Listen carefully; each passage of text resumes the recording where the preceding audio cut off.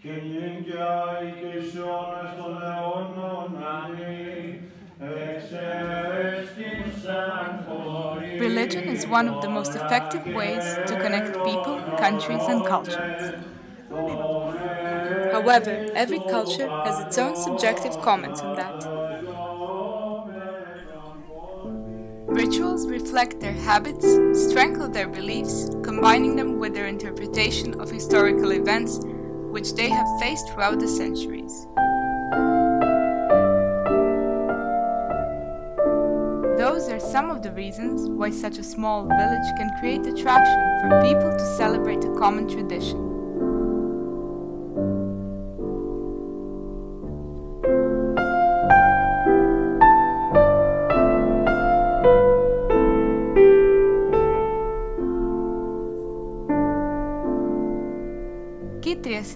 Small village in Messenia, considered as the very beginning of Mani Peninsula in southern Greece.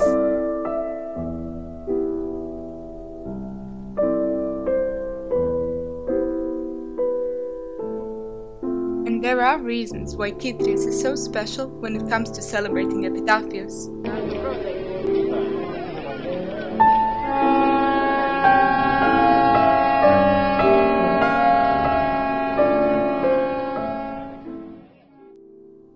Many traditions that were lost in downtown ceremonies still exist in Kytrias.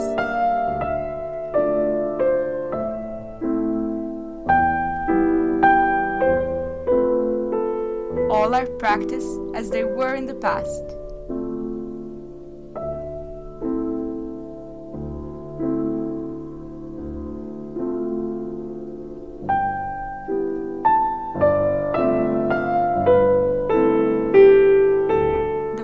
Flowers used to decorate the epitaph and the steps of the rituals are still carried out consistently, with all other aspects reflecting their local history.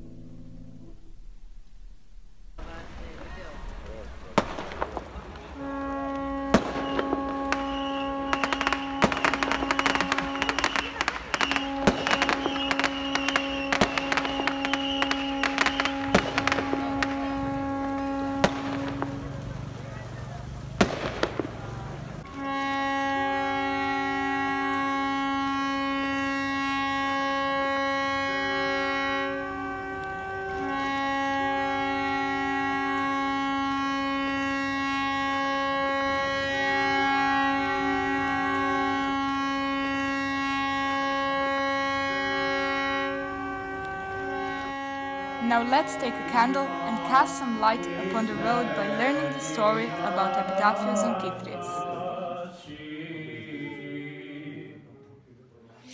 Κιτρία λοιπόν. Ένα ψαροχώρι πολύ μικρό, πολύ κοντά στην Καλαμάτα, πολύ τουριστικό τον τελευταίο καιρό, με πολλές ιδιαιτερότητες. Μία από αυτές είναι και η ιστορία της περιφοράς του επιταφείου. Τη Μεγάλη Εβδομάδα, τη Μεγάλη Παρασκευή. Τι είναι αυτό λοιπόν που μας κάνει να θυμόμαστε κάθε χρόνο να μην ξεχνάμε να πηγαίνουμε στις Κιτριές στον, στην περιφορά του επιταφείου.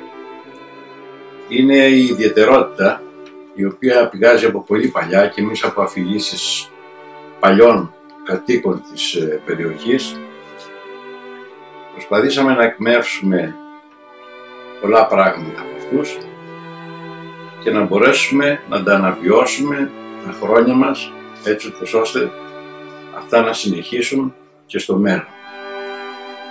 Μία από τις ιδιαιτερότητες είναι ότι η ιστορία μας έμαθε ε, η περιφορά να γίνεται πολύ πιο αργά από τους άλλους επιταφείους της περιοχής. Ε, περίπου η ώρα που ξεκινάει η λειτουργία είναι γύρω στις 11.30 με 12 και η περιφορά ε, είναι γύρω στις 12.30 με 1 η ώρα. Είναι πολύ αργά βέβαια, παρόλα αυτά ο κόσμος έρχεται, ε, παρακολουθεί ε, την περιφορά του επιταφείου η οποία είναι και καταληκτική, αλλά και μπορώ να πω έχει και πολλές καινοτόμες ε, σχέση με διάφορους άλλους ε, επιταφείους ε, της ε, περιοχής και γενικά της Ελλάδος. Μία από αυτές είναι το ότι κατεβαίνει από ένα ιστορικό καλτερίμι ε, στις, ε, στους πρόποδες ε, δυστυχώς ενός κατεστραμμένου κάστρου των Μπέιδων, των Ευρωμιχαλαίων που λέμε. Το τελευταίο καιρό μάλιστα το καλτερίμι αυτό έχει κηρυχθεί και διατηρηταίο μνημείο και ακολουθεί στην πλατεία και από την πλατεία γίνεται κάποια δέηση και από τη δέηση μπαίνει πλέον σε ένα ψαροκάικο και με τη συνοδεία άλλων μικρών καϊκιών από πίσω γίνεται μία περιφορά και μέσα στο μεσημιακό κόλπο. Πολλοί κόσμος είναι απ' έξω, ακολουθεί και αρκετός κόσμος έχει μπει σε βαρκούλες και ακολουθεί την περιφορά του επιταφείου μες στη θάλασσα. Ε, αυτό είναι μια διαφορά που κάνει τον επιτάφιο των Κιτριών εν σχέση με άλλους αστικούς ε, επιταφείους που γίνονται στην ε, περιοχή της ε, Μεσσηνίας και της Καλαμάτας ειδικότερα. Τώρα, θα αναφερθώ για άλλη μια φορά γιατί γίνεται τόσο αργά η περιφορά του επιταφείου και δεν γίνεται όπως σε όλες οι υπόλοιπες περιοχές του Μεσσηνίας. Μία από τις εκδοχές που και εμείς ακούσαμε τα παλιά χρόνια από ανθρώπους εκεί της περιοχής είναι ότι υπήρχε κάποιος φόβος παρόλο ότι η, η Οθωμανική όλη αυτή η αυτοκρατορία και τα λοιπά δεν είχε πλησιάσει τη Ζωκομιτημάνη. Ε, υπήρχε όμως ο φόβος και γι' αυτό ο κόσμος ε, δίσταζε τις, ε, ο, τις κοινές ώρες δηλαδή να πραγματοποιήσουν την περιφορά του επιταφείου. Γι' αυτό περίμενα λοιπόν τις νυχτερινές ώρες, τις ώρες ε, που όλος ο κόσμος ε, υποτίθεται ότι είχε πέσει να κοιμηθεί και οι κάτοικοι της περιοχής σιγά σιγά δειλά δειλά χωρίς κοδονοπουσίες και ιδιαιτερότητες έβγαιναν, πήγαιναν στην εκτισούλα και κάνανε την περιφορά του επιταφείου χωρίς να υπάρχει ε, κάποιος κίνδυνος πλέον ε, για, τη, για τη ζωή τους βασικά. Ο, ένας, ένας λόγος είναι αυτός. Τώρα κατά πόσο είναι αλήθεια, κατά πόσο είναι ψέματα, τι να σας πω. Ε, θεωρώ όμως ότι κάποιο βαθμό αληθείας πρέπει να έχει. Ε, αυτή, αυτό, αυτό είναι όσον αφορά το σκέλος το, για, για αυτή γίνεται τόσο αργά η περιφορά του επιταφείου. Τώρα υπάρχει, υπάρχει και μία άλλη ε, δική μας εκδοχή, την οποία τη ζούμε κάθε χρόνο, είναι θέμα ότι ο ιερεύς της περιοχής δυστυχώς πρέπει να κάνει τρεις επιταφείους και σε εμάς έρχεται τελευταίος. Και το επιδιώξαμε και εμείς να έρθει τελευταίος προκειμένου να είμαστε συνεπείς με την εκδοχή το ότι παλιά έβγαινε πάλι πολύ αργά αλλά και με την ε, ε, εκδοχή το ότι θέλουμε να την βγάζουμε αργά προκειμένου να προλάβει και ο κόσμος από τους άλλους επιταφείους να έρθει στις κεντρές να παρακολουθήσει και να, την λιτανία του επιταφείου των κεντρών. Διαδικαστικά λοιπόν θα πούμε τώρα ότι ο στολισμός ε, του επιταφείου γίνεται από τις ε, γυναίκες της περιοχής οι οποίες βγαίνουν από το πρωί, μαζεύουν λουλούδια από τους κήπους τους, άγρια λουλούδια ε, και γίνεται ο στολισμός του επιταφείου με τη, πάντα με την ευλάβεια που διακατέχει κάθε έναν που ασχολείται με τον στολισμό του.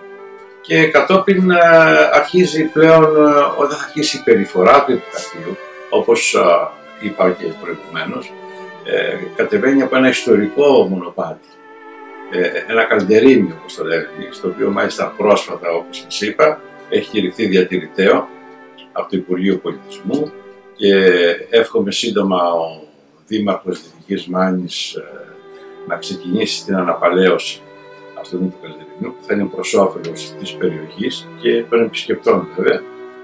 Από εκεί κατεβαίνει σιγά σιγά, το οποίο είναι φωτισμένο με διάφορα φωτάκια, είτε με, ηλεκτρικό, είτε με ηλεκτρικό ρεύμα είτε και με φανεράκια και οδηγείται στην πλατεία του χωριού. Η απόσταση αυτού του καλερινιού είναι γύρω στα 100 με 120 μέτρα. Κατεβαίνοντας στην πλατεία, ακολουθούμε και πάμε πλέον προς το λιμάνι, όπου γίνεται η επιβίβαση του επιταφείου μαζί με τον ιερέα σε ένα καϊκάκι, το οποίο θα κάνει την περιφορά μέσα στο μεσηνιακό κόλπο και από πίσω θα ακολουθήσουν και άλλα καΐκια και βαρκούλες της περιοχής και όλος ο υπόλοιπος κόσμος, ο οποίος βέβαια προφανώς δεν χωράει στις βάρκες, παρακολουθεί από την προκυμαία την περιφορά του γραφείου, ταυτόχρονα βέβαια και έρχονται και ένας ή δύο Ιούδες ανάλογα το πόσους έχουν φτιάξει τα παιδιά εκεί της περιοχής. Ε, είναι ένα έθιμο από παλιά. Πολλοί λένε ότι το έκαναν οι ψαράδες για να μπορούν να έχουν καλύτερες ψαριές, να είναι ευλογημένα τα νερά τους κτλ. Ε, θεωρώ ότι έχει μία δόση ελευθερία σε αυτό, μία δόση πίστης, ταυτόχρονα όμως είναι και ένα πολύ ωραίο θέαμα για τον επισκέπτη. Είναι κάτι πρωτότυπο, κάτι καινοτόμο που νομίζω αρέσει στους επισκέπτες. Ταυτόχρονα υπάρχει και ένα όφελος, ας μην ξεχνιόμαστε γιατί ζούμε σε μια εποχή που δυστυχώς όλα έχουν σχέση με την οικονομία, ε, για τα καταστήματα τα οποία ε, βρίσκονται στην περιοχή αυτή.